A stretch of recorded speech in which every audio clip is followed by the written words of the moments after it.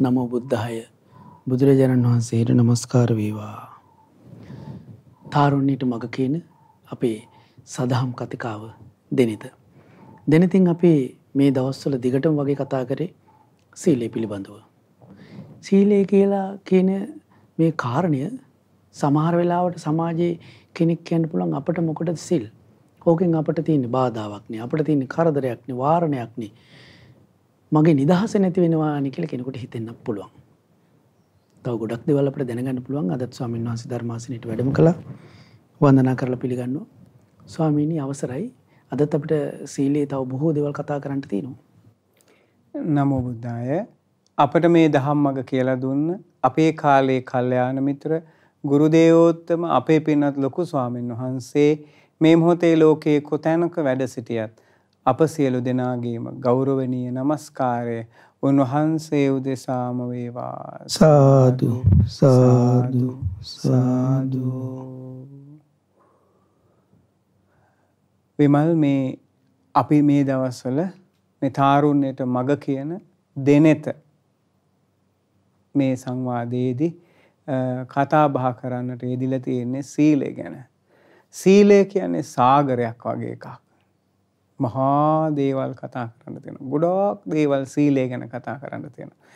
බුදුරජාණන් වහන්සේ බුදුරජාණන්සේ සරණ ගියපු අයට නිවන් දැකීම පිණිස ඒ එදිනෙදා ජීවිතයේදී දෛනිකව සුවසේ පුරුදු කරන්න තියෙන දෙයක් විදිහට තමයි සීලය කියන එක පනවලා තියෙන්නේ. ඒ සීලය පනවනකොට බුදුරජාණන් වහන්සේ විනය පනවනකොට මුලදී අවුරුදු ගානක් යනකම් මේ සීලයක් පැනෙව්වේ නැහැ. විනයක් පැනෙව්වේ නැහැ. ඒකට හේතුව ඒ කාලේ හිටපු අය මේ සිල් බිඳින්න උත්සාහ කළේ නෑ මුලදී. පස්සේ කාලේ කාලේ ටික ටික ටික ටික යන්න යන්න තමයි සිල්පද බිඳෙන කාරණාවේ අර්බුද හටගත්තේ. ඒ ඒ අවස්ථාවේදී සුදුසු සුදුසු වෙලාවේදී තමයි බුදුරජාණන් වහන්සේ හේතු කාරණා සහිතව සීලය කියන එක පනවන්නේ. එතකොට බුදුරජාණන් වහන්සේ කෙනෙක් පනෝපු සීලයක් ගැනයි අපි මේ කතා කරන්නේ. එතකොට මේ සීලය නිවන පිණිසම හේතු වෙනවා. දැන් ආර්ය ශ්‍රාංගික මාර්ගයේ සීල, සමාධි, ප්‍රඥා කියන එක තමයි තියෙන්නේ. ඒතර සීලය කියලා කියන්නේ නිවනට මුල් වෙන එකක්. මේ සසර දුකින් නිදහස් වෙන්න හේතු වෙන එකක්. ඉතින් සසර දුකින් නිදහස් වෙන්න හේතු වෙන මේ සීලය මේ ජීවිතේ නායකයෙක් බිහි කරන්න එහෙම නැත්නම් පෞරුෂයක් තියෙන අභිමානයක් තියෙන තරුණයෙක් බිහි කරලා. එතනින් එහාට එයා වැඩිමලෙක් දක්වා එහෙම නැත්නම් මහා පෞරුෂයක් තියෙන අභිමානවත් ජේෂ්ඨයෙක් දක්වා පත් කරන්න ඒ සීලයට පුළුවන්. ඒ නිසා තමයි බුදුරජාණන්ස සීලය පනවන්නේ. බුදුරජාණන්ස සිල් ගන්න කිව්වේ වයසට ගිහිල්ලා නෙවෙයි. බුදුරජාණන්ස දේශනා කළේ ජරාජීරණයට පත් වෙන කම්ම සිල් ගන්න කියලා. ඒකල කියන්නේ වයසට යන කම්ම බැරි වෙන කම්ම සිල් සමාදන් වෙන්න කියලා. එහෙනම් වයසට යන කම්ම සිල් ගන්න කියන එකෙන් අදහස් කළේ විමල් තරුණ කාලේ ඉඳලා දිගටම සිල් අරගෙන වයසට ගියත් සිල් ගන්න එක අතාරින්න එපා කෙන ඒකට හේතුව බුදුරජාණන්සේ දන්නවා මේ සීලය කියන එක. හේතු කරගෙන මෙලවත් යහපත සැපය උදා වෙනවා. පරලොවත් යහපත සැපය උදා වෙනවා. ඒ විතරක් නෙමෙයි දෙලෝම සැප සලසා ගන්න කෙනා මරණින් මත්තේ හෝ මේ ජීවිතේ හෝ පුළුවන් ඉක්මනට එයා සසර දුකින් එතෙර වෙන මාර්ගෙත් මේ සීලය පුරුදු කරලා එයා එයාගේ ජීවිතයට ගලප ගන්නවා. දැන් විමල් නිවන් මඟ ගත්තොත් දැන් අපි කියනවා ආභි සමාචාරික සීලය කියලා. ඒ කියන්නේ වතපිලිවෙත. ඔය දැන් ඇවිල්ලා පන්සලකට වේවා අසපුවකට වේවා විහාරයකට වේවා කොහෙට හරි ගිහිල්ලා. කෙනෙක් අතුපතු ගානවා වත් පිළිවෙත් කරනවා මල් පහම් පූජා කරනවා. එතකොට බුදු කුටිසු ආදී සෙනසුන් ආදී පිරිසිදු කරනවා. ඒ කාරණා ආභි සමාචාරික සීලයට සීලය පුරුදු කරන්න ඉස්සෙල්ලා කරන වැඩ ටික වත පිළිවෙත ආන් එහෙම කරගෙන කරගෙන යනකොට එයා ටික ටික පන්සිල් සමාදන් වෙනවා ආදිවස්තමක සීලේ දස සිල් උපෝසත සිල් මේ විදිහට සමාදන් වෙලා වෙලා සමහර විට දවසක මෙයා පැවිදි වෙලා උපසම්පදා සීලය පවා ආරක්ෂා කරගන්නවා. ආන් එතකොට මොකද වෙන්නේ? ඒ සීලය ආරක්ෂා කිරීම හේතු කරගෙන එයාට මොකද වෙන්නේ? හිතේ ටික ටික ටික ටික ටික ටික සමාධියක් හටගන්නවා. සීලේ පිරෙන්න පිරෙන්න සමාධිය පිරෙන්න පටන් ගන්නවා. සමාධිය පිරෙන්න පිරෙන්න ඒ එකඟ වෙන හිත තුළ ඒ ඒ තමන්ගේ හිතේ එකඟභාවයත් එක්ක එකඟ වෙන හිත තුළ මොකද වෙන්නේ? එයාට පුළුවන් හොඳට මේ ලෝක යථාර්ථය සිහි කරන්න ලෝක යථාර්ථය වටහා ගන්න. ඉතින් සීලය නැතිව කවදාවත් සමාධියක් හටගන්නේ නැහැ. සමාධියක් නැතුව කවදාවත් මේ සසර දුකින් එතෙර වෙන මේ ප්‍රඥාව ඇති කරගෙන ලෝක යථාර්ථය අවබෝධ කරගෙන අවබෝධයෙන්ම කලකිරිලා මේ තණ්හාව සම්පූර්ණයෙන්ම ෂේ කරලා මේ ලෝකෙන් නිදහස් වීමක් ගැන කතා කරන්න වෙන්නේ. එහෙනම් සීලය කියන්නේ ඊටමත් අත්‍යවශ්‍ය දෙයක්. එහෙනම් රහතන් වහන්සේ බුදුරජාණන් වහන්සේ එතකොට මේ හැම දෙනා තුළම ඒ උත්තරීතර තැනට යන්න සීලයක් කියන එකක් තිබුණා. ඒ සීලය නොතිබ්බානම් ඒ සීලය නොරැක්කනම් ආන් එතනදී එයාට අඩුම ගානේ සෝතාපන්න වෙන්නවත් බැරි වෙනවා. සෝතාපන්න වෙනවා කියලා කියන්නේ කෙනෙක් තුල ආර්යකාන්ත සීලයක් හට ගන්නවා කියන එක. ඒ කියලා කියන්නේ එදා ඉඳලා සෝතාපන්න වෙන දවසේ ඉඳලා එයා තුලින් කවදාවත් සිල් බිඳෙන්නේ නැහැ කියනවා. අපාය යන කරුණ සකස් වෙන්නේ නැහැ කියනවා. සීලය බිඳෙන්නේ නැහැ කියනවා. ඒ නිසා විමල් අපි හොඳට ගලප ගන්න ඕනේ මේ කාරණාවේදී මේ සීලය කියන එක මේ නිවන් මාගේ මහා දෙයක් කරනවා ලুকু කටයුත්තක් කරනවා. ඒතකොට ඒ කටයුත්ත කරනකොට වර්තමාන ජීවිතේ ජීවත් වෙන මේ ලෝකෙදි පවා ඒ සීලය නිසා මහා යහපතක් හටගන්නවා. දැන් සාරිපුත්තයන් වහන්සේ වගේ දැවැන්ත පුද්ගලයෝ පුරුෂයෝ ඒ වගේම මහා මුග්ගල් මොග්ගල්ලාණයන් ඒ වගේම ආනන්ද නන්ද රාහුල මහා කාශ්‍යප මහරහතන් වහන්සේ ආදී මේ මහා දැවැන්ත පුරුෂයෝ බිහි වෙන්න පටන් ගන්නෙ සීලය රකින්න පටන් ගැම්මත් එක් ඒ නායකත්ව ගුණ ඒ අභිමානය ඒ ගෞරවය ඒ පෞරුෂය ඒ ප්‍රෞඩත්වය ඒ අභිමානය මේ සියල්ල හටගන්න සීලය කියන එක ප්‍රධාන හේතුවක් වෙනවා මොකද සීල සමාධි ප්‍රඥා කියන මේ නිවන් මඟ වඩලයි උන්වහන්සේලා එතනටපත් වෙන්නේ. එතකොට මේ ලෝකේ කොච්චර රජවරු හිටියත් කොච්චර දැවැන්තයෝ මොන මොන පෝසත්තු හිටියත් ඒ අය අඩු ගානේ මේ බුද්ධ ශාසනය හිටපු අහිංසකම සුනීත තරම් පෞරුෂයක් තියෙන අය නෙවෙයි. අවුරුදු 7 සාමණේර හාමුදුරුව තරම් පෞරුෂයක් තියෙන කෙනෙක් නෙවෙයි සමහරට කොසල් රජුරු බිම්බිසාර රජුරු අජාසත් රජුරු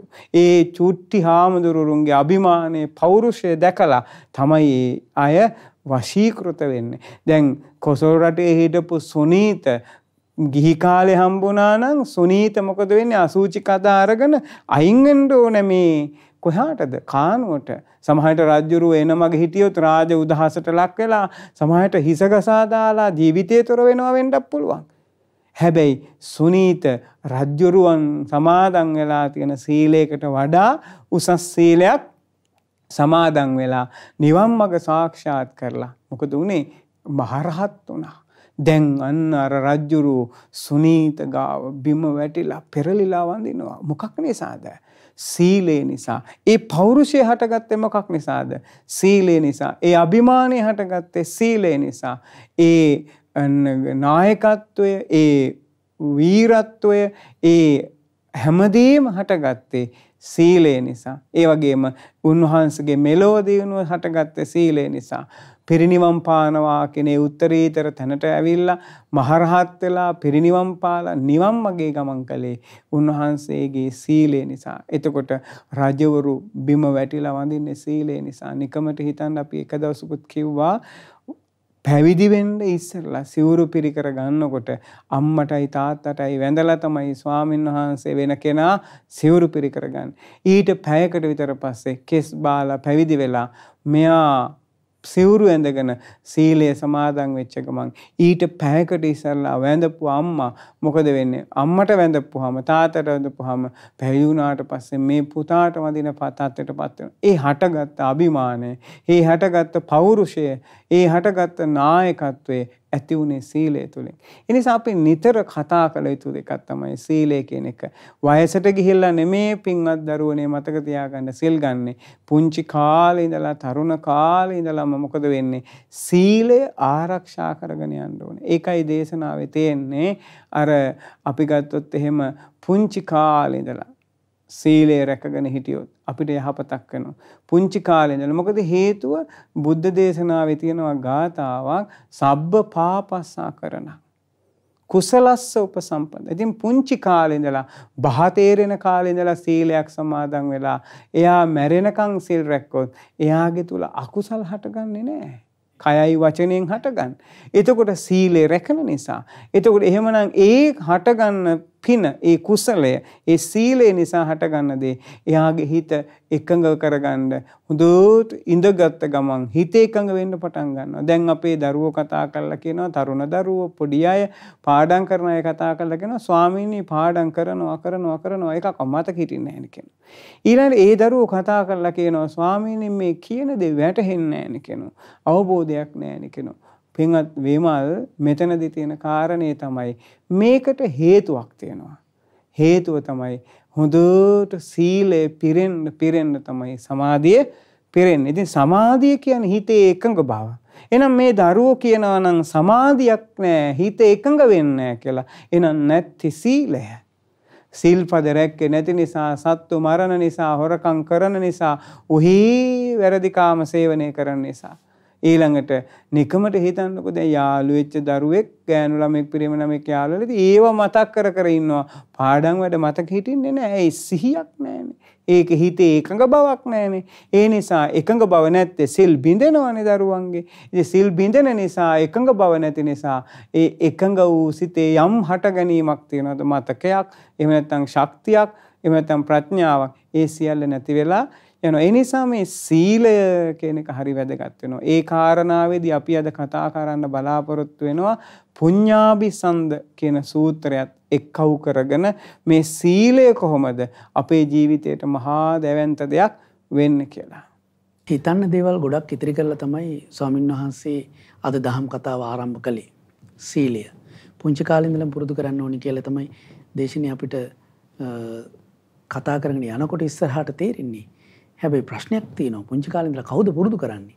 සමහරට මොන්ටිසෝරි යන්න දවසේ ඉඳලම අම්මා තමයි බොරු කියන්න උගන්වන්නේ. ගිහිල්ලා මේක කියපන් කියලා. ස්වාමීනි අවසරයි. විමල් මේ කාරණාවේදී ඇත්තටම වැඩිහිටියා මූලික වෙන්න ඕනේ. තමන්ගේ දරුවට පුංචි කාලේ ඉඳලා සිල් සමාදන් කරවන්න උගන්වලා ඒක නිකන් ජීවිතේට බද්ධ වෙච්ච කාරණාවක් කරන්න ඕනේ. පුංචි කාලේ ඉඳලා දරුවා කුසට එන්න ඉස්සරලා ඉඳලා අම්මයි තාත්තයි ගිහිල්ලා සිල් ගන්නවා නම් තරුණ වයසේම. ඒතර ඒ දරුවා කුසේ ඉඳලම දකිනවා. සමහරට ඒ කුසට එන්නේ දෙවි කෙනෙක්. මොකද හේතුව ඒ තරුණ ජෝඩුව හොඳට සීලවන්ත නම්, හොඳට ත්‍යාගවන්ත නම්, ශ්‍රද්ධාව තියෙනවා නම්, සීලය තියෙනවා නම්, ශ්‍රුතය තියෙනවා නම්, ඡාගය තියෙනවා නම්, ප්‍රඥාව තියෙනවා නම්, ඊ අම්මා හොඳට සිල් ගුණ දම්පුරන කෙනෙක් නම් උපෝසතේ සමාදම් වෙනවනම් ඒ දෙවිවරු චුත වෙනකොට බලනවා මට දැන් manuss ලෝකෙට යන්න ඕනේ. manuss ලෝකේ පැවිද්දක් තියෙනවා ගෞතම බුද්ධ ශාසනය තියෙනවා. මාත් කැමති ධහම රැකෙන රටේ පැවිද්දෙක් කියලා ඒ ධහම රැකෙන පරපුර රැකලා දෙන්න.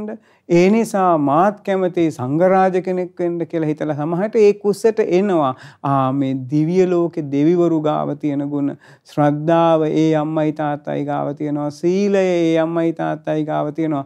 ශ්‍රුතේ හොඳට දෙන්න බණ අහනවා. වාහනේ නැග්ගත් තියෙන ධර්ම දේශනාව. හොඳට ඒ දෙන්න බණ අහනවා. ඊළඟට ඒ දෙන්න ආයේ නෑ අත දිගෑරලා දන් දෙනවා. දානේ දීම සඳහා අත හොදාගෙන ඉන ඕන වෙලාවක දන් දෙනවා.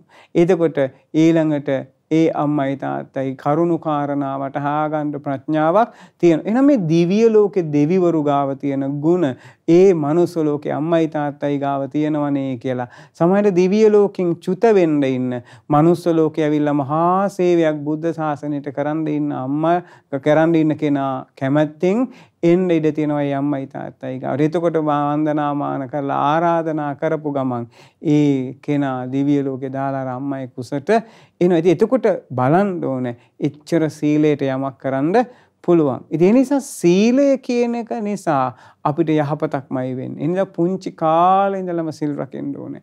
ඒතර දෙවිවරු තියෙන තුල තියෙන ಗುಣ තමා තුල ඇති කරගන්න ඕනේ යහපතක් සැපයක් ඇති කරගන්න ඕනේ. මේ පුඤ්ඤාபிසන්ද කියන සූත්‍රයේදී පුණ්‍ය ප්‍රවාහය ගැන කියන සූත්‍රයේදී මේ දේශනාව බුදුරජාණන් වහන්සේ සවැත් නුවර දේශනා කරලා මෙන්න මෙහෙම මුහුම් පළවෙනියටම දේශනා කරනවා මහණෙනි සැප ලබා දෙන්නා වූ සැප විපාක ඇති සැප ලබා දෙන්නා වූ සැප විපාක ඇති ස්වර්ගයේ උපත පිණිස පවතින. ඒ කියන්නේ මරණින් මත්තේ දෙව්ලොව උපතක් පිණිස පවතින ඉෂ්ට වූ කාන්ත වූ මනාප වූ ඒ කියන්නේ Tamanට කැමති කැමති දේ ලබලා දෙන හිතසුව පිණිස පවතින. ඒ කියන්නේ තමාගේත් අන් අයගේත් සියලු දෙනාගේම හිතසුව පිණිස පවතින මේ පුණ්‍ය ප්‍රවාහයෝ පින් ගංගාව අටක් තියෙනවා කියලා බුදුරජාණන් වහන්සේ දේශනා කරනවා. එතකොට එහෙනම් බලන්න මේ කියපු කාරණා ටික නායකයෙක් තුල තිබිච්ච යුතු දේවල්. පෞරුෂයක් තියෙන අභිමානයක් තියෙන කෙනෙක් තුල තිබිය යුතු දේවල්. ඒ වගේම තමයි මේවා ඔක්කොම මෙලොව දියුණුව පිණිස හේතු වෙනවා. පරලොව දියුණුව පිණිස හේතු වෙනවා. මොනවද? සැප විපාක. දැන් අපි හැමදේම රස්සා කරලා රැකී ආරක්ෂා කරලා ඊගෙනගෙන මේ හැම දෙයකදීම අපි මල් බලාපොරොත්තු වෙන්නේ මේ මේ සැප හොයනවා. ඊළඟට සැප විපාක හොයනවා. ඊළඟට අපි ගත්තොත් එහෙම මරණින් මත්තේ හොඳ ලෝකයක උපතක් බලාපොරොත්තු වෙනවා. ඊළඟට කැමති කැමති දේ ලබන්න තමන්ට මනාප දේ ලබන්න බලාපොරොත්තු වෙනවා. දැන් ඔය තරුණ අම්මලා පවා ඉන්නවා. ඉතින් ළමයා අවශිෂ්‍යත්වයට දානවා විභාගේ පාස් කරන්න. අම්මලා මනාපයි මේ මේවා වෙනවට. ළමයා වැඩියෙන් ලකුණු ගන්නවටක මනාපයි. ඉතින් මනාප දේ ලැබෙන්නේ නැත්තේ මනාප දේ ලැබෙන ප්‍රතිපදාවේ නැති නිසා ඉතින් මේ පුණ්‍ය ප්‍රවාහය ගැන බැලුවොත් එහෙම මේ විදිහට දෙමව්පියෝ කටයුතු කරොත් එහෙම මොකද වෙන්නේ? බොහෝ විට අම්මලට ලැබෙන දේ අවශ්‍ය දේ ලැබෙනවා. ඉෂ්ට වූ දේ ලැබෙනවා. මනාප වූ දේ ලැබෙනවා. කැමති කැමති දේ ලැබෙනවා. ඒ වගේම තමයි එයාට එයාට සිද්ධ හිතසුව පිණිස පවතිනවා කියනවා. ඉතින් බුදුරජාණන්සේ දේශනා කරනවා පළවෙනි පිංගඟ තමයි බුදුරජාණන් වහන්සේ සරණ යාම. කෙනෙක් බුදුරජාණන්සේ සරණ යනවා නම් එයාගේ ජීවිතේට පිං ගඟක් ගලනවා කියනවා අර කියපු විපාක තියෙන. ඊළඟට බුදුරජාණන්සේගේ ධර්මයේ සරණ යාම තමයි දෙවෙනි පිං ගඟ කියනවා. තුන්වෙනි පිං ගංගාව තමයි කියනවා ශ්‍රාවක සංඝයාව සරණ යනවා කියන කොනේ දැන් පුණ්‍ය ගංගා තුනක් තියෙනවා. එහෙනම් අපි මුලින්ම වැඩසටහනේ කතා කරේ ওই පින් ගංගා තුන. මේක එකට එක සම්බන්ධ වෙච්ච බද්ධ වෙච්ච කාරණා. එහෙනම් මේ බුදුරජාණන්සේ සරණ යනවා කියන එක ධර්මයේ සංගය සරණ යනවා කියන එක තමන්ගේ ජීවිතේට ඉෂ්ට වූ කාන්ත වූ මනාප වූ දේවල් ලබලා දෙන සැප විපාක දෙන සැප විපාක ඇති මත්තේ මරණින් මතු ස්වර්ගයේ උපතක් ලබලා දෙන ඒ වගේම හිතසුව පිණිස පවතින දෙයක්. ඔන්න තිසරණේ. ඊළඟ බුදුරජාණන් වහන්සේ දේශනා කරනවා මහණෙනි පහක් වූ මහා දානයන් තියෙනවා කියනවා. මහා දාන පහක් තියෙනවා කියනවා. ආන් ඒව අග්‍රයි කියනවා. මේ දානයන් අතර මහා දානයන් අග්‍ර දානයන් කියනවා. ඒවා අග්‍ර දාන විදියට සැලකිය යුතුයි කියනවා. එතුරු බුදුරජාණන් වහන්සේ එතනදි දේශනා කරනවා මේවා බොහෝ කල් පැවති දේවල් කියලා දැනගන්න ඕනේ. මේ අදීය පටන් ගන්නව නෙවෙයි කියනවා. මෙන්න මේ දාන පහ. ගොඩාක් කාලයක් ඉඳලා බොහෝ කාලෙක ඉඳලා පැවති ඒවා කියලා දැනගන්න කෙනා. බුද්ධ ආදී උතුමන්ගේ પરම්පරාවට අයත් දේවල්. බුදුරුන්ගේ પરම්පරාවට අයිති දාන පහක් කියනවා. ඒ වගේම තමයි කියනවා පැරණි දෙයක් කියලා දැනගන්න ඕනේ කියන මේ අලුත් දේවල් නෙමෙයි කියනවා. මේවා මේ පැරණි දේවල් කියලා දැනගන්න කියනවා. ඒ වගේම සංකීර්ණ නෑ කියනවා. මෙන්න මේ දාන පහ සංකීර්ණ නෑ කියනවා. ඒ වගේම බුදුරජාණන් දේශනා කරනවා පෙර හිටපු බුදුරජාණන් වහන්සේලාත් මෙන්න මේවා බැහැර කළේ නෑ කියනවා. මතු බුදු වෙන යම් බුදු කෙනෙක් ඉන්නවද? එයාලත් ඒ බුදුරජාණන් වහන්සේලාත් මේ දාන බැහැර කරන්නේ කියනවා. වර්තමානයේ බුදු වෙච්ච මාම පවා මේවා බැහැර කරන්නේ නෑ කියනවා. බුදුවරු විසින්වත් මේවා බැහැර කළේ නෑ කියනවා. ආන්ගේ නුවණැති සබ්‍රහ්මචාරීන් වහන්සේලා විසින් නින්දා නොකරන ලද දෙයක් කියනවා මෙන්න මේ දාන පහ. ඒ නුවණැති. එහෙනම් බුදුවරු පවා අනුදැනවදාල බුදුවරු පවා මේවා කළ යුතුයි කියලා වර්ණනා කරපු දාන පහක් ගැනයි අපි මේ කතා කරන්නේ. ඒ දාන පහ තමන්ගේ ජීවිතේ තියෙනවා නම් එයා හැබෑම නායකෙක් වෙනවා. එයා හැබෑම පෞරුෂයක් තියෙන අභිමානයක් තියෙන කෙනෙක් බවට පත් වෙනවා. එයාගේ මෙලෝ පවා ජීවිතේ සාර්ථක වෙනවා. පරලෝ ජීවිතේ පවා සාර්ථක වෙනවා. ඒ වගේම යහපත හැම දෙනාටම උදා වෙනවා. ඒ විතරක් නෙවෙයි අවසානයේ නිවන පවා සාක්ෂාත් වෙනවා. බුදුරජාණන් වහන්සේ දේශනා කරනවා මහණෙනි මෙන්න මේ කාරණේදී ආර්ය ශ්‍රාවකයා ඒ කියන්නේ තෙරුවන් සරණ ගියපු කෙනා සතුන් මැරීම අතහරිනවා කියනවා. ඒ වගේම සතුන් මැරීමෙන් වැළකීලා මොකද වෙන්නේ?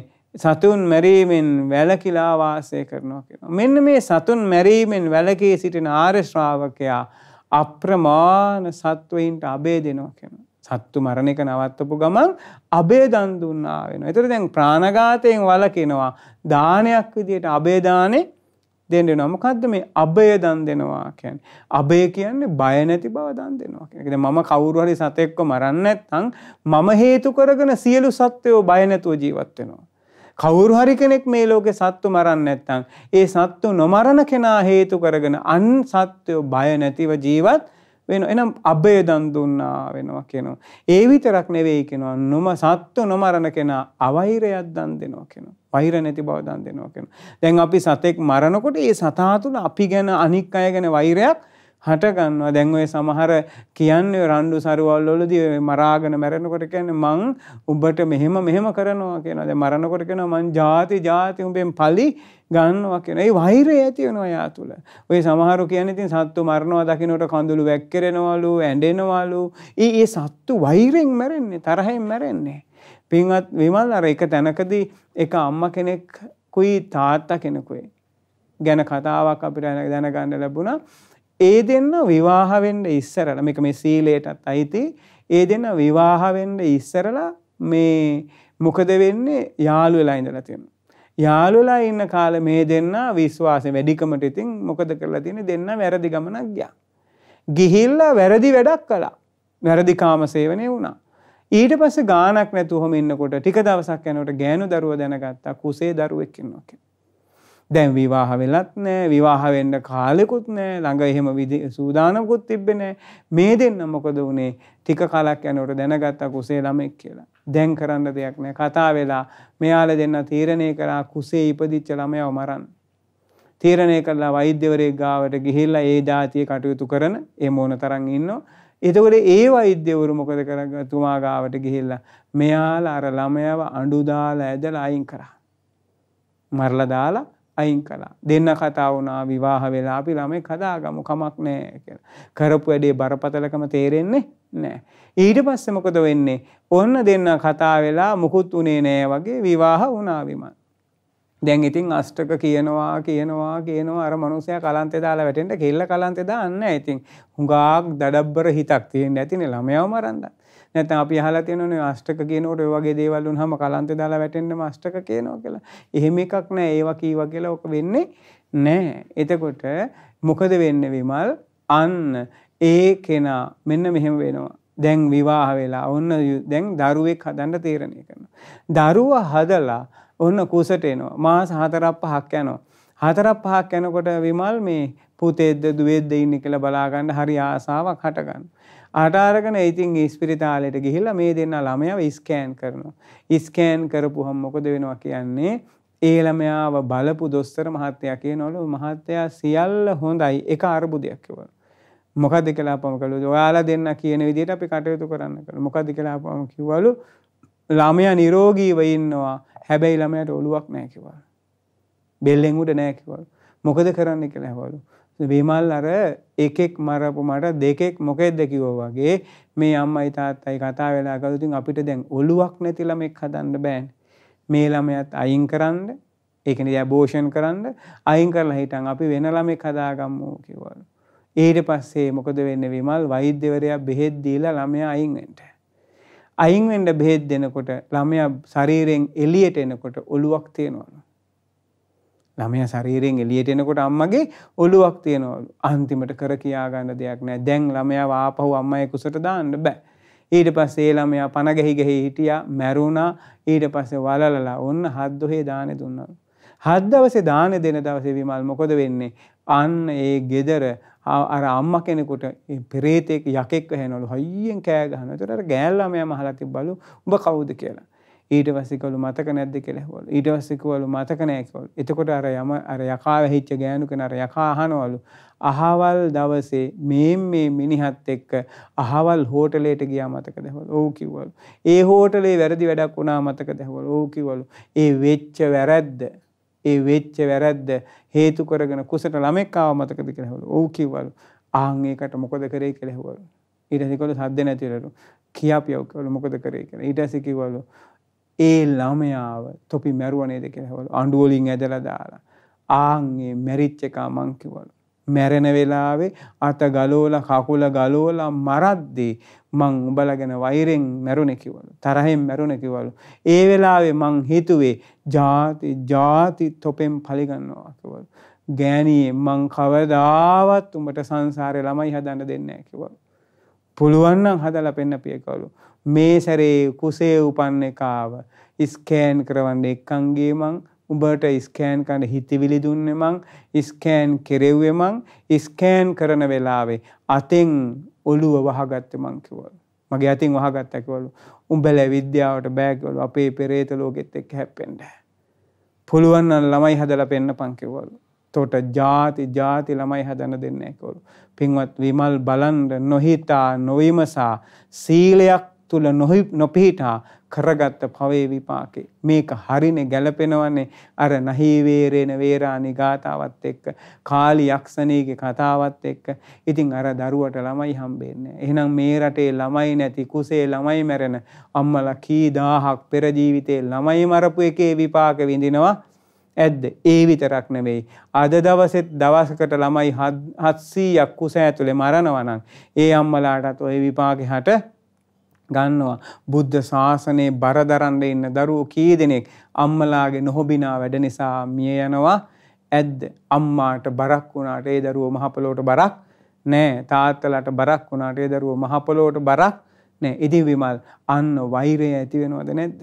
ප්‍රාණඝාතයත් එක්ක වෛරය ඇති වෙන. හැබැයි කෙනෙක් ඉන්නවා ප්‍රාණඝාතය කරන්නේ එයා දන් දෙනවා අවෛරය. අවෛරය දන් දෙනවා. ඊළඟට යා මොකද කරන්නේ? නිදුක් බව දන් දෙනවා කියනවා. ප්‍රාණඝාතය නොකරන කෙනා නිදුක් බව දන් දෙනවා කියන. එතකොට ප්‍රාණඝාතය නොකිරීම හේතු කරගෙන අබේදානෙ දෙනවා, අවෛරය දන් දෙනවා, නිදුක් බව දන් දෙනවා. ඔන්න පින්වත්නි නායකයෙක් තුල තියෙන වෙන ගුණාංග ඒකෙදි බුදුරජාණන් දේශනා කරනවා. කවුරු හරි කෙනෙක් අප්‍රමාණව මේ විදිහට අවෛරය දන් දෙනවා නම්, අබේ දන් දෙනවා නම්, ඒ වගේම නිදුක් බව දන් දෙනවා නම් ආන් ඒ කෙනා මොකද වෙන්නේ අප්‍රමාණ වූ බිය නැති දත වෛර නැති නිදුක් බවට හිමිකරුවෙක් වෙනවා කියනවා. එයා බය නැති කෙනෙක් බවට පත් වෙනවා කියනවා. වෛර නැති කෙනෙක් බවට පත් වෙනවා කියනවා. නිදුක් බවට පත් වෙනවා කියනවා. බොහෝ ඊට පස්සේ මොකද කියන්නේ මෙන්න මේක තමයි කියනවා දාන අතරේ අග්‍රම දානයක් කියනවා. දාන පහෙන් එකක් කියනවා. මොකද්ද? අබේ දාන දීම. නිදුක් බව දන් දීම. අවෛරේ දන් දීම. ප්‍රාණඝාත නොකිරීම. එතකොට බුදුරජාණන්සේ දේශනා කරනවා එහෙනම් ප්‍රාණඝාතයෙන් වළකිනවා කියලා කියන මේ ලෝකේ තියෙන ශ්‍රේෂ්ඨ දානයක් වෙනවා. එහෙනම් ප්‍රාණඝාතයෙන් වැළකීම සිල්පදේ රකිනවා කියන්නේ ලুকু දානයක් දෙනවා කියන්නේ. එහෙනම් අද උදේ පානාතිපාතා වේරමණී සික්ඛාපදං සමාදියාමි කියලා සමාදන් වෙලා සත්තු නොමර ඉන්නවා නම් සිහියෙන් රෑ ඉලි වෙනකන් හිටියොත් එහෙම මුළු දවසක් පුරා තප්පරයක් තප්පරයක් ගානේ අබේ දානෙ දුන්න වෙනවා. තප්පරයක් තප්පරයක් ගානේ අවහිරේ දන් දුන්නා වෙනවා. තප්පරයක් තප්පරයක් ගන්න නිදුක් බව දන් දුන්නා වෙනවා. විමල් අපි මේ ස්වාමීන් වහන්සේලාට වේවා කොයි කොයි වෙලාව වේවා කාට හරි දානයක් යන්න කොච්චරනම් මහන්සි වෙනවද? ඒත් කිසි මහන්සියක් නැතුව සුන්දර දානයක් දෙන්න පුළුවන් සීලයක් රැකලා. අනික දානයට වඩා පින වැඩිනේ සීලේ. දන් දීලා රැස් වෙන පිනට වඩා පින වැඩි සීලේ. ඒ නිසා සීලය රැකීම හේතුරු කරගෙන අබේ දාන දීලා නිදුක් බව දන් දීලා අවෛරය දන් දීලා රැස් වෙන පින මහත්ඵලයි මහානිසංසයි. ඔන්න එක දානයක්. එහෙනම් හොරකම් නොකරන එක්කෙනා අබේ දන් දෙනවා කියනවා නිදුක් බව දන් දෙනවා කියනවා අවෛරය දන් දෙනවා කියනවා. ඊළඟට වැරදි කාම සේවනයේ නොකරන කෙනා අබේ දන් දෙනවා කියනවා. අවෛරය දන් දෙනවා කියනවා නිදුක් බව දන් දෙනවා කියනවා. ඊළඟට බොරු නොකියන කෙනා අවෛරය අබය නිදුක් බව දන් දෙනවා කියනවා. ඊළඟට මත්පැන් මද්‍රව්‍ය පානය කරන්නේ නැති කෙනා ඒ සිල්පදේ රකින්න කෙනා අවෛරය දන් දෙනවා කියනවා. අබය දන් දෙනවා කියනවා. නිදුක් බව දන් දෙනවා කියනවා. ආන් ඒ දාන දීලා නිදුක් බවට ඒ කෙනා හිමිකරුවෙක් වෙනවා කියනවා. බය නැති කෙනෙක් බවට පත් වෙනවා කියනවා. නිදුක්ව වාසය කරනවා කියනවා. වෛර නැති කෙනෙක් බවට වාසය කරනවා ජීවත් වෙනවා කියනවා. දැන් විමල් නායකයෙක් තුල ඕවා නෙවෙයිද ඕනන්නේ. දැන් මේ තාරුණ්‍ය බයේ ඉන්නවා කඩු තිබ්බලු, කිනිසි තිබ්බලු, අරව තිබ්බලු. බය වෙන්න දෙයක් නැහැ. ඇයි අපි සිල් රකින්නවා නම් අපි තෙරුවන් සරණ ඉන්නවා නම් මේ දාන දීලා නම් එයා වෛරය දන් දෙන්නේ නැතුව අවෛරය නම් දන් දුන්නේ. නිදුක් බව නම් දන් දුන්නේ. එයා දුන්නේ අබය නම් එයාට බය වෙන්න දෙයක් නෑ. එයාට පෙරලා නිදුක් බව ලැබෙනවා, අවෛරය ලැබෙනවා, අබය ලැබෙනවා කියලා බුද්ධ දේශනාවේ තියෙනවා. අර එක කතාවක් මට මතක් වෙනවා. එක සිල් මාතාවක් මෙහෙණියක් මොකද කරන්නේ හොඳට සිල් සමාදන් වෙලා වාසය කරනවා. ඒ භික්ෂුණිය මොකද කරන්නේ වැවකට බැහැලා පැම් පහස් වෙනවා කියනවා. විමල් මේ වැවේ ඉඳලා තියෙනවා කිඹුලෙක්. ඉතින් මේ කිඹුල මොකද කරන්නේ? මේ භික්ෂුණිය පැම් පහසු වෙන වෙලාවේ ඇවිල්ලා මේ භික්ෂුණියගේ කකුල් දෙක දණිය දක්වා ගිලිනවා කියනවා. දැන් භික්ෂුණියට අල්ලගන්න එකකුත් නැහැ. කිඹුලා කකුල් දෙක ගිලලා.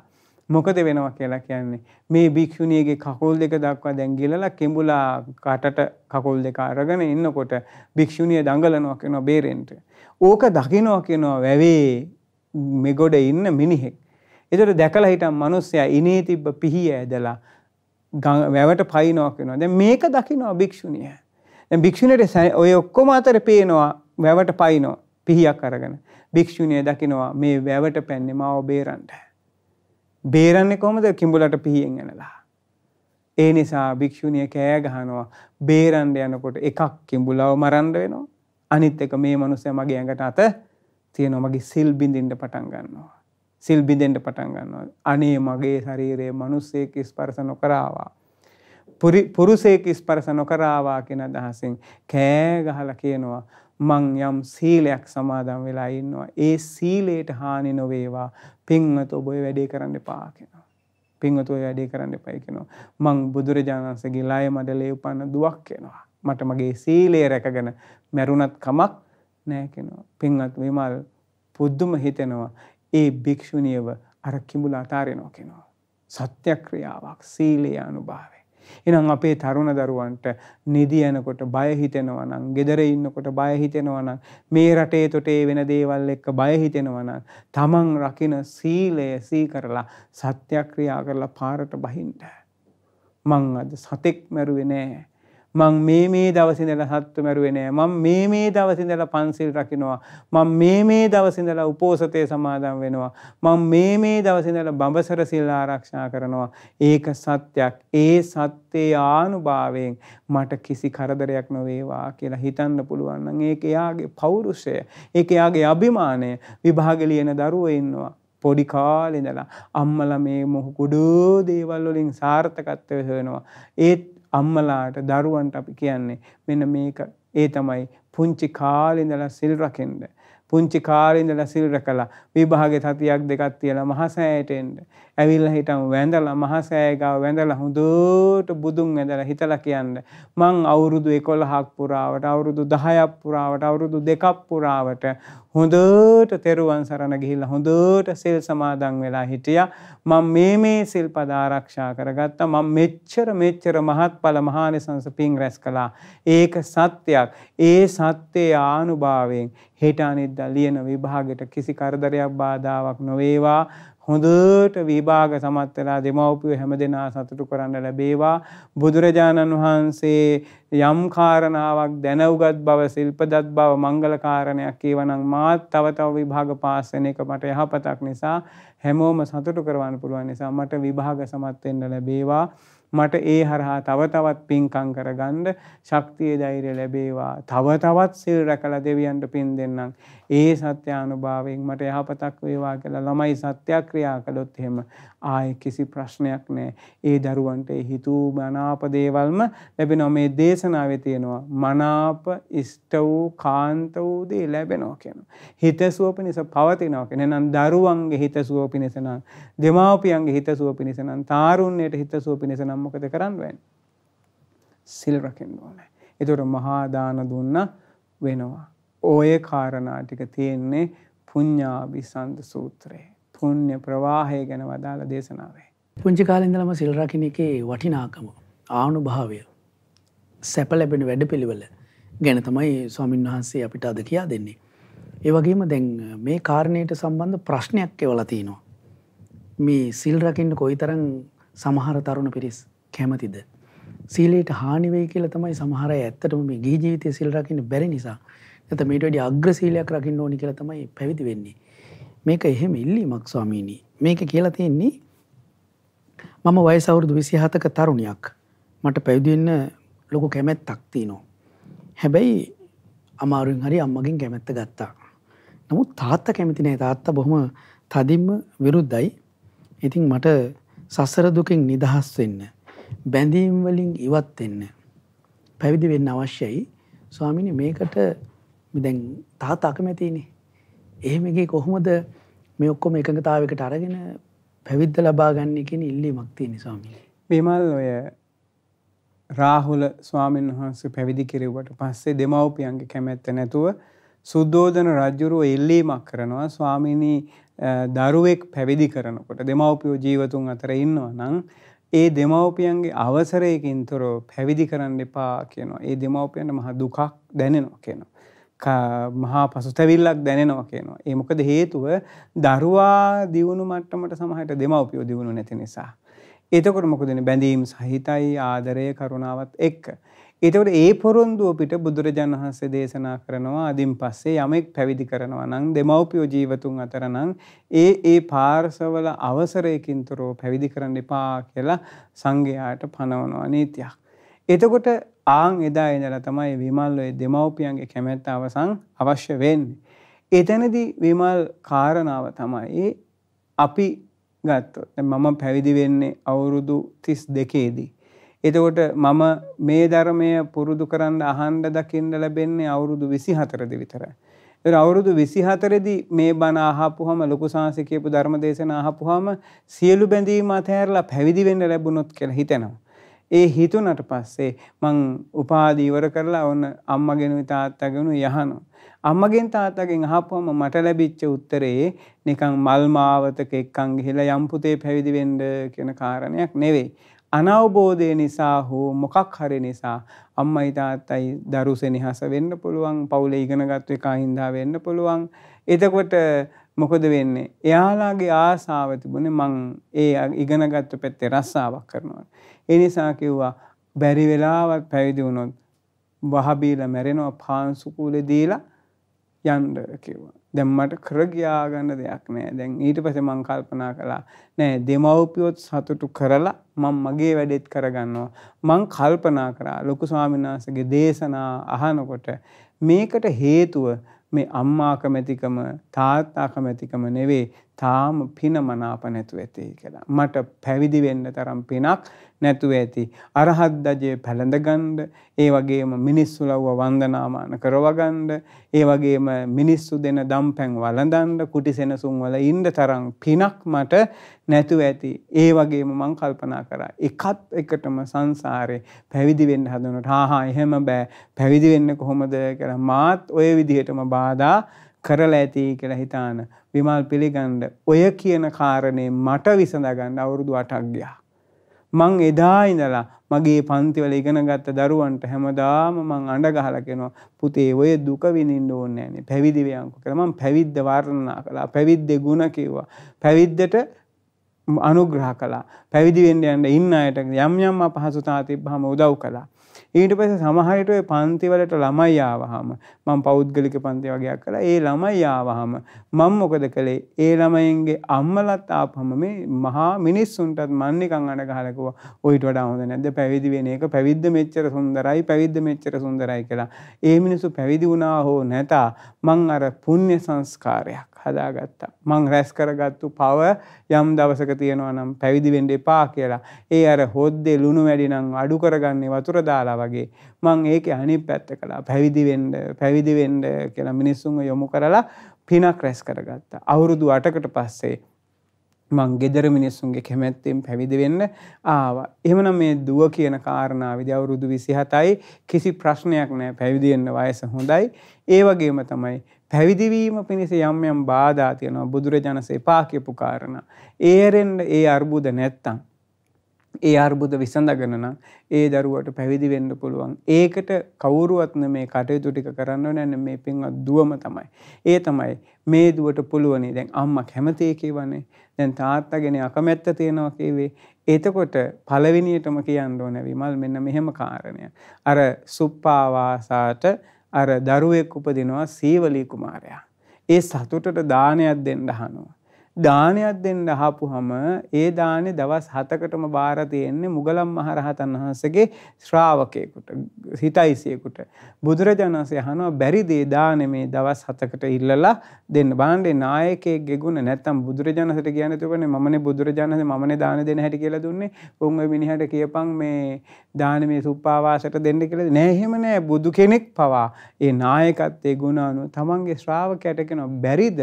ඒ මනුස්සයාට කරුණු කියලා කියලා මේ දානේ ඉල්ලගන්න කියලා. ඊට පස්සේ මුගලන් මහරහතන් වහන්සේ ගිහලා ওই මිනිස්යාගෙන් අහනවා මෙන්න මෙහෙම සිද්ධියකට දවස් 7කට දානේ ඕන කියනවා හෙට ඉඳලා. ඒකට මිනිස්යා කියනවා ස්වාමීනි සියලු දේ ගෙනත් තියෙන.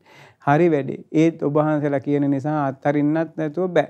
ස්වාමීනි මට කාරණා තුනක් කරලා දෙනවා නම් මං දානේ බාර දෙන්නම් කියනවා. අහනවා මොකද්ද කරලා දෙන්නේ කියලා අපම කියනවා පින්වත් ස්වාමීනි මං බඩු ටික ගෙනත් දෙන්නේ. ගෙනත් තියලා තියෙන්නේ. දවස් 7ක් යනකොට නරක් වෙන්න පුළුවන්. ඔබ වහන්සේට පුළුවන් මේ බඩු නරක් වෙන්නේ නැති වෙන්න තියාලා දෙන්න. එළවලු මාළු ටික පුළුවන් කිව්වා. ස්වාමීනි මං සමහරට ওই දවස් 7ට ඉස්සලා මැරෙන්න ඉඩ තියෙනවා. බැරි වෙලාවත් මැරුණොත් මට දාන දී ගන්න බැරි වෙනවා. ඔබ වහන්සේට පුළුවන් ද මාව ඒ දක්වා මැරෙන්නේ නැහැ කියලා වග කියන්න. ස්වා ඒතකොට මුගලන් මහරහතන් වහන්සේ දේශනා කරනවා. හරි මං මැරෙන එක ගැනත් වග කියන්නම් කරනවා. මැරෙන්නේ නැති වෙන්න බලා ගන්නම් කියනවා.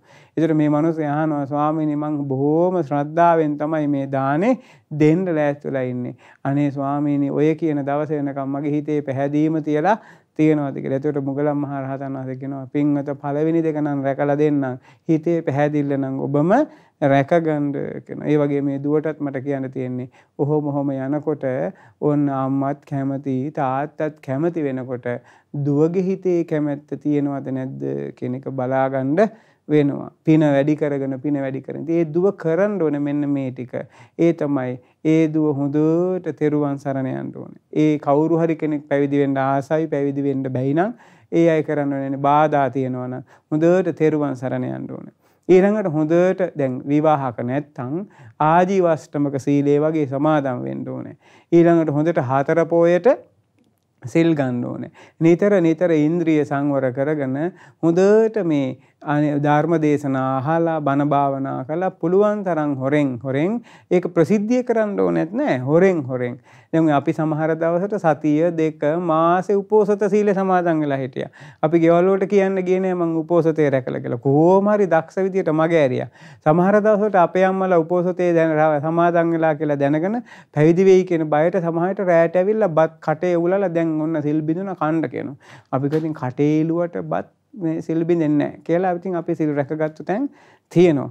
ඒ වගේ අපේ උවමනාව තියෙනවා නම් පම්පෝරි ගහන්න නැතුව කయ్య ගහන්න නැතුව මම පැවිදි වෙනවා මෙහෙමයි මෙහෙම කියලා කියන්නේ නැතුව පාඩුවේ අහිංසක විදිහට පින් කර කර පින් කර කර දවස ගානේ දරුවෝ සත්‍යක්‍රියා කරන්න.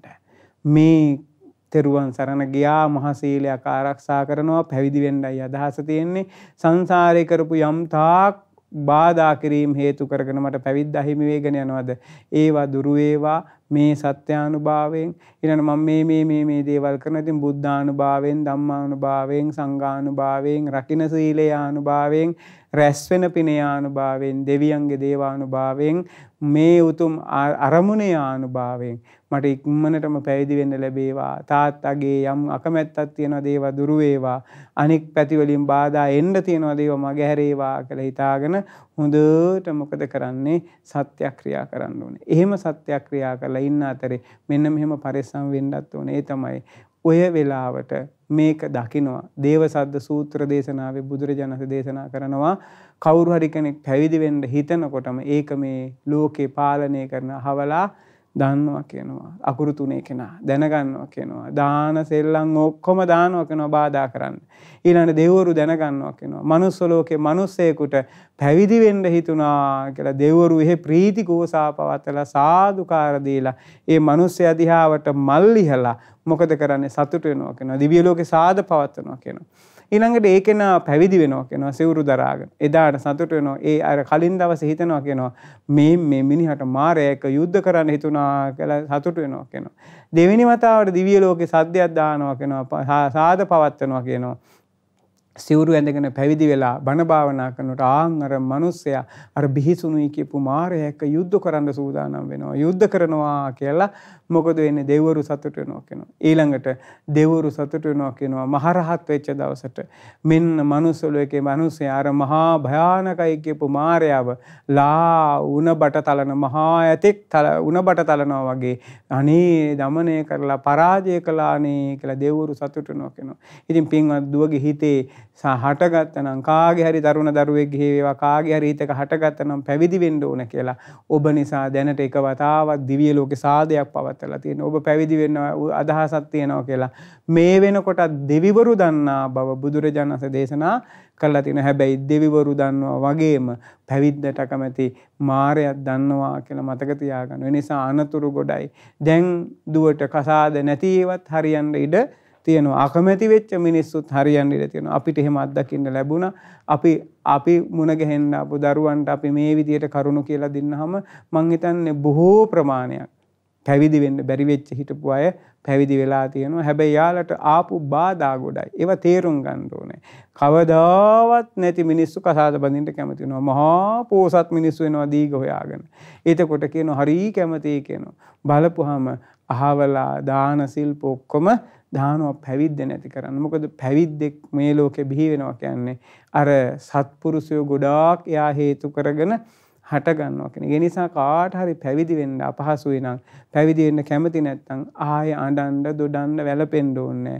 සද්ද නැතුව තෙරුවන් සරණ යන්න, සද්ද නැතුව පොයට උපෝසතේ ගන්න, තිස නිති පන්සිල් රකින්න, විවාහ වෙලා නැත්නම් ආජීව අෂ්ටමක සීලෙන් ඉන්න, දන් දෙන්න, සිල් රකින්න, භාවනා කරන්න. එහෙම කරලා උදේට හිතන්න ඕන විමල් අද දවසේ යම් තාක් පින් රැස් වෙනවද උතුම් අරහත් දදියක් ඉක්මනටම පැළඳගෙන අරහත්වය සාක්ෂාත් කරන මඟ පුරුදු කරන්න ලැබේවා.